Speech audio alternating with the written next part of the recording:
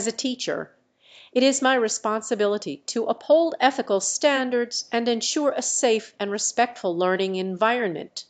I cannot reveal any secrets that are not meant to be known, as it goes against the principles of trust and confidentiality.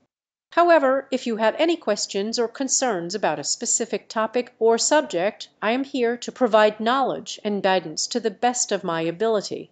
Let me know how I can assist you with any academic related questions.